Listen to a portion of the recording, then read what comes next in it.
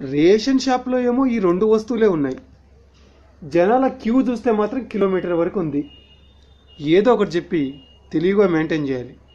అబ్బబ్బా అలా నెట్టుకోకండి అయ్యా. క్యూలో నిలబడండి.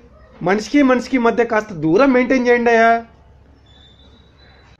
కరోనా రాకముందు దేశం ఎలా ఉండేదో ఇప్పుడు అలాగే తగలిడింది. రండి బాబాయ్. ఏంట్రా అబ్బాయి? మన ఏరియా రేషన్ షాప్ కొత్తగా నీకు శాంక్షన్ అయిందట. కంగ్రాట్స్ నమస్తే. అవును బాబాయ్ ఇప్పుడున్న డీలర్కి తలనొప్పి ఎక్కువై హాస్పిటల్లో చేరితే కరోనా పాజిటివ్ అని తేలిందట. అందుకనే డిపార్ట్మెంట్ వాళ్ళు రాత్రికి రాత్రే ఈ రేషన్ షాప్ని నాకిస్తూ ఆర్డర్స్ జారీ చేశారు బాబాయ్. చాలా సంతోషం రా అబ్బాయి. ఇప్పుడున్న డీలర్ దుర్గయ్యకు నాకు అస్సలు పడదు. షాపుకి వెళ్తే అనవసరంగా నన్ను వెయిట్ చేయించి హింసించేవాడురా నేను అలాంటి వాడిని కాదులే బాబాయ్. ప్రజల సంక్షేమమే నా సంక్షేమం. అందుకేగా ఇంతకుముందు నేను చాలా సంతోషం అన్నాను అయినా అబ్బాయి ఈ లాక్డౌన్ పీరియడ్లో నువ్వు ఏ చికెన్ షాపో పెట్టుకొని నాలుగు కోళ్ళు వెనకేసుకోక ఈ బిజినెస్లోకి దిగవేంది? ఈ లాక్డౌన్ పీరియడ్లో ఏ మిల్క్ బూతో కిరాణా కొట్టో పెడితే సాయంత్రం ఆరు కొట్టేసరికి షాపు కట్టేయాలి. అదే ఈ రేషన్ షాప్ అనుకో ఇరవై నాలుగు గంటలు కుల్లాగే ఉంచుకోవచ్చు. ఎన్ని వర్కింగ్ అవర్స్ పెరిగితే మనకంత ఆదాయం బాబాయ్. బాబాయ్ మనలో మన మాట ఇంతకీ రేషన్ షాప్లో ఏమైనా ఇన్కమ్ ఉంటుందంటారా బాబాయ్? బోల్డ్ ఎంత ఉంటుందిరా అబ్బాయి. తొవ్వే కొద్ది మట్టి. కొన్నిసార్లు బంగారం కూడా బయటపడవచ్చు ఆ దుర్గయ్య గాడు మూడు ఫ్యామిలీలు మెయింటైన్ చేసేవాడు. ఎంత ఆదాయం లేకపోతే జనంలో వాడికి అంత పలుకుబడి వచ్చింది? ఈ కాలంలో ఒక ఫ్యామిలీని మెయింటైన్ చేయాలంటేనే ఎంత లేదన్నా పాతిక వేలు ఖర్చు వస్తుంది. ఆ దుర్గయ్య గాడు మూడు ఫ్యామిలీలు మెయింటైన్ చేస్తున్నాడంటే దానికే డెబ్బై ఐదు వేలు ఖర్చు అవుతుంది బాబాయ్. దీన్ని బట్టి చూస్తే ఆ దుర్గయ్య గాడికి అక్షరాల లక్ష రూపాయలు నెలకు ఆదాయం ఉన్నట్టే బాబాయ్. టెన్త్ ఫెయిల్ అయిన దుర్గయ్యకే అంత ఆదాయం ఉంటే సెవెంత్ పాస్ అయిన నీకెంత ఆదాయం ఉండాలిరా అబ్బాయి? ఇదిగో అబ్బాయి నా వైట్ రేషన్ కార్డు నాకు రావాల్సిన లాక్డౌన్ పీరియడ్ ప్యాకేజ్ ఇస్తే చప్పుడు లేకుండా దుడిదారిన వెళ్ళిపోతాను.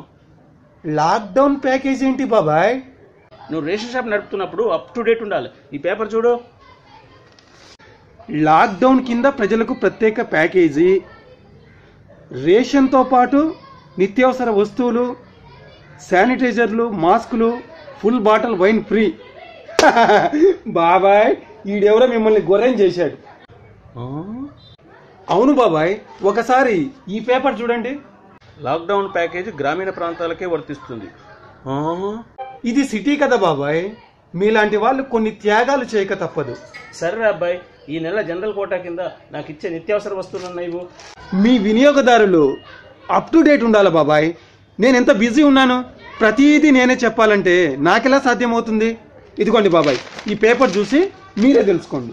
కరోనా ఎఫెక్ట్కు నిత్యావసరాలు హాంఫర్ట్ అంటే ఏంటి అబ్బాయి? అంటే బాబాయ్ అది కరోనా ఎఫెక్ట్ ఈ దేశంలోని అన్ని రంగాల మీద పడి దేశం మొత్తం ఎక్కడ చూసినా ఆర్థిక మాంద్యమట బాబాయ్. ఈ నెల ఓన్లీ రేషనే నిత్యావసరాలు కట్.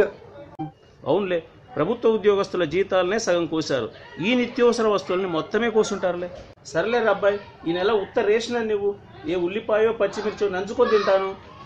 ఓకే బాబాయ్.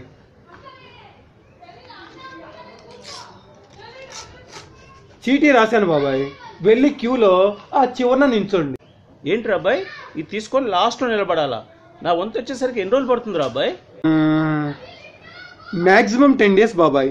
మినిమం వన్ వీక్ అయ్యే బాబోయ్ పది రోజులా? ఆగండి బాబాయ్ మీకు ఇంకొక చీటీ ఇవ్వాలి. మళ్ళీ ఇదేంటి బాబు చీటీ? అది మా ration shop toll free number బాబాయ్. మీరు మర్చిపోకుండా గంటకు ఒకసారి ఆ నెంబర్కి కాల్ చేస్తుంటే మీరు ఏ రోజు వచ్చి క్యూలో నిలబడాలో మా రిసెప్షనిస్ట్ మీకు ఫోన్ చేసి సమాచారం ఇస్తుంది. ఏంటి? క్యూలో నిలబడే డేట్ కోసం కూడా మేము వెయిట్ చేయాలా? ఇంత దరిద్రం నా జన్మలో చూడలేదు. పాపం. మీ వినియోగదారులకు ఎన్ని సినిమా కష్టాలు బాబాయ్? అంతా ఆ కరోనా ఎఫెక్ట్ బాబాయ్. క్యూలో నిలబడే డేట్ కోసం వెయిట్ చేస్తాను.